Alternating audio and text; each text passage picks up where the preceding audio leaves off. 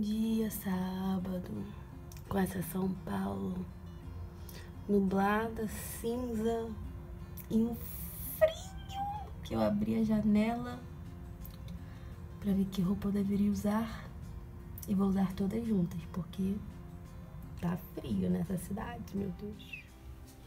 Estamos arrumadinhos para tomar café e passear um pouquinho. O look de hoje não é nada demais, a parte de baixo é igual a de ontem, a calça verde e a sapatilha. Só em cima que eu botei essa segunda pele preta e esse casacão aqui, sei lá, acho que é tricô, nem sei o que é, vinho, com essa rendinha. Que eu até usei na viagem que a gente fez pra Argentina e Uruguai ano passado. Eu usei ele quando a gente foi pro Uruguai. Que hoje tá bem, bem, bem friozinho, o sol tá querendo sair, mas tá bem gelado. Qual é o seu look do dia, senhor? É um, a mesma calça de ontem, All Star, um casaquinho, um cardigan, uma blusinha de botão. Preparado pro dia de hoje? Preparado.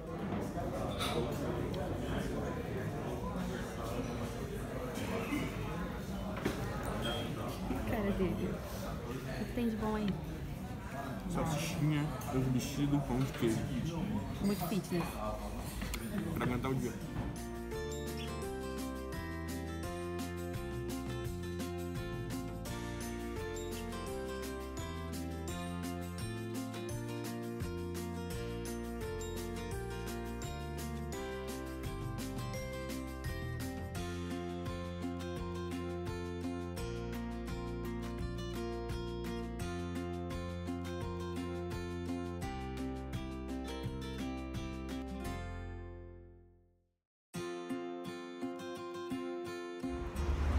Já pegamos o trem, estamos muito suburbano em São Paulo, né? É. Já pegamos o metrô e agora estamos chegando aonde? A gente tá chegando na Pinacoteca. Fica Pinacoteca. bem no centro de São Paulo, na Estação da Luz. Hum. Aqui ao lado vocês vão conseguir ver a antiga Estação da Luz. Aqui, ó. Ó, Pinacoteca. É bonitinho, todo tijolinho, mas de longe é feio. Vai chegar num prédio abandonado.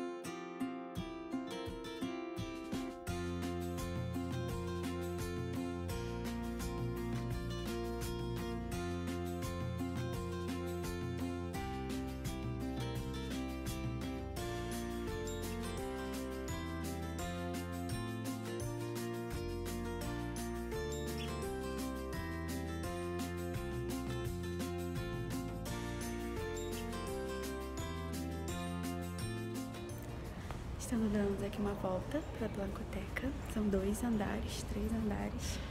Pode ir. E aqui a gente tá no segundo andar. Tem essa vista aqui maneiríssima.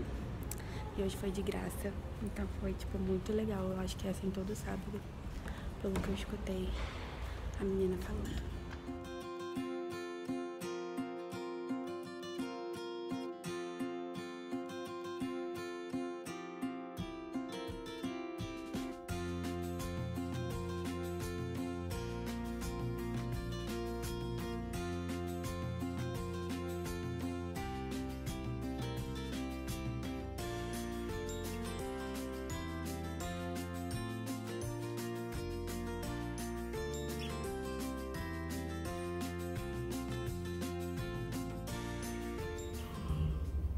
E aí, Lof, tá gostando do passeio?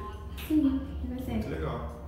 O prédio tem uma mistura de novo com muito antigo, Ah, acabou o tijolinho. que faz um visual muito interessante, bem legal.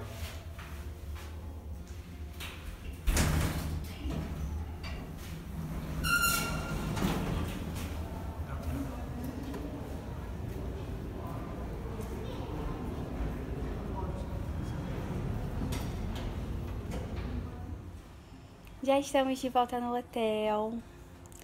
Acabou que não deu pra filmar muita coisa, mas depois que a gente saiu da Pinacoteca, nós pegamos o metrô e o trem de novo, né, pra voltar aqui pra Vila Olímpia, Itaim, que é mais ou menos a área que a gente tá. E aí ontem, num dos Ubers que a gente pegou, Uberista. Uberista, o motorista indicou pra gente o Italy. Eu já tinha escutado falar no Instagram da Pugliese, se eu não me engano. E aí ele indicou pra gente, falou que era mais ou menos perto do hotel que a gente tava. E disse que pra quem gostava de comida italiana era muito bom, que era tipo top de Referência. linha, né? Referência, exatamente. E aí hoje, depois da Pinacoteca, o Marvin lembrou de lá, eu falei, ah, vamos. E aí a gente foi, gente. Misericórdia. Eu não filmei lá porque tava muito cheio. E eu fico meio sem graça quando tá muito cheio. E eu acho que as pessoas podem perceber e ficar chateadas, achar que tá filmando elas, enfim. Eu só filmei mesmo quando o nosso prato chegou. Eu vou botar aqui.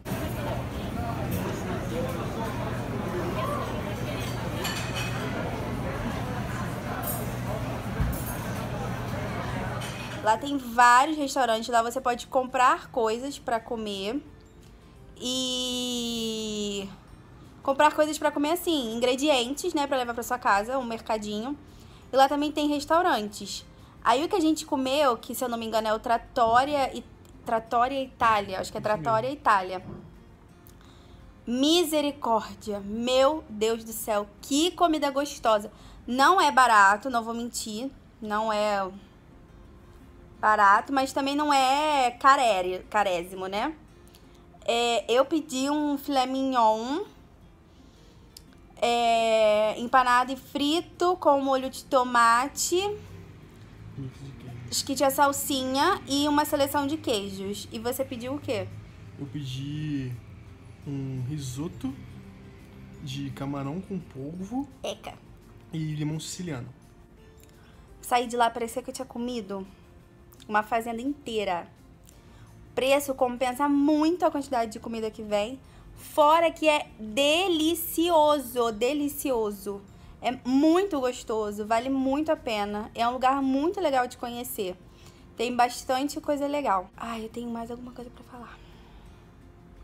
Eu esqueci o que que era que eu tava pensando quando cheguei aqui.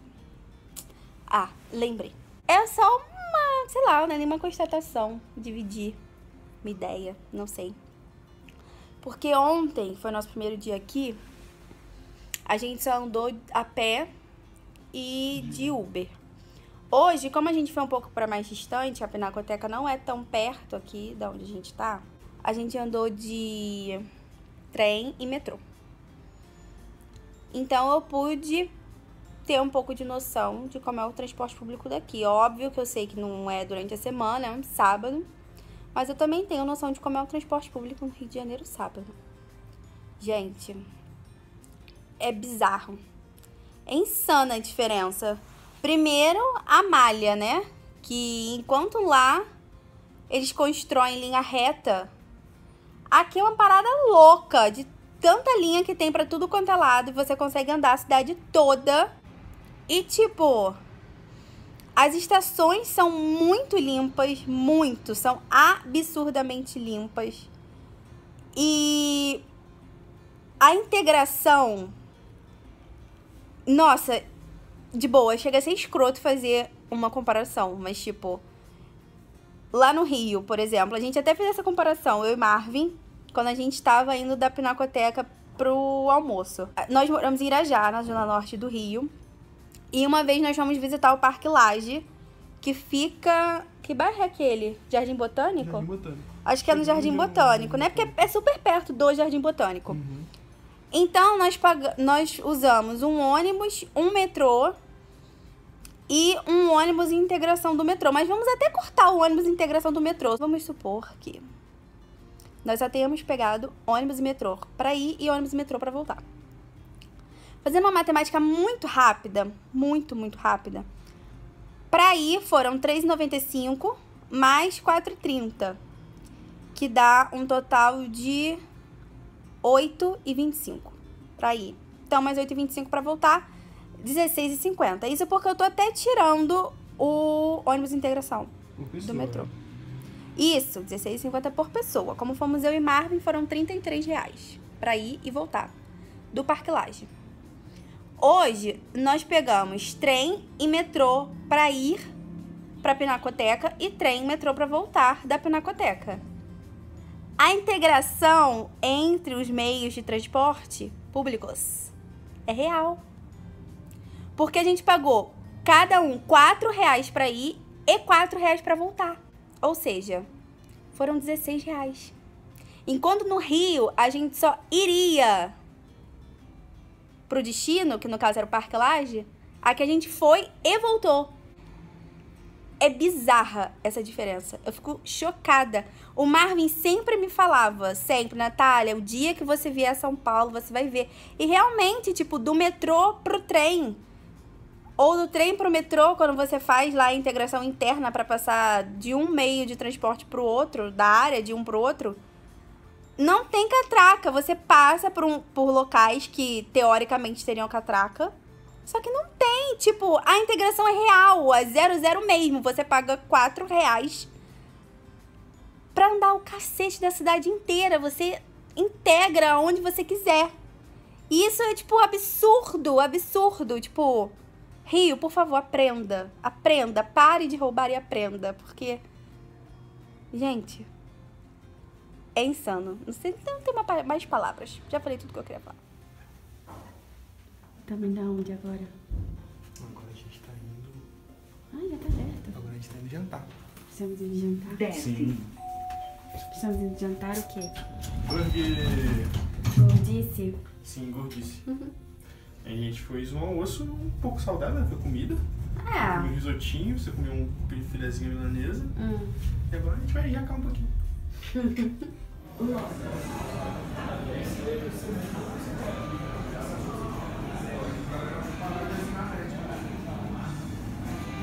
Lindo. Olha aqui. Oi, Damo fitness. muito fitness. Fitness. Esse mais fitness que isso aqui, não é possível. Chegamos. Vamos comer. Tava muito bom. Muito bom, hamburgueria All In. Fica aqui no Itaim, muito boa. Ah, eu fumei só igual de manhã, só o prato. O vídeo tá aí. Porque como fica muita gente, aí eu fico sem graça de fumar. Mas tava muito bom. Tava delicioso, nossa, uma delícia. Bacon recheado, tinha cebola reche... envol- envolvida num bacon e a- uma crosta de barbecue. Nossa, delicioso. Então, né? E qual foi o nosso saldo de hoje? Super positivo, foi muito bom. Gastronomicamente foi bem melhor Nossa, que ontem. foi muito melhor. E o passeio foi tão bom quanto. Muito legal. E o descanso também. E amanhã, CCXP! CCXP!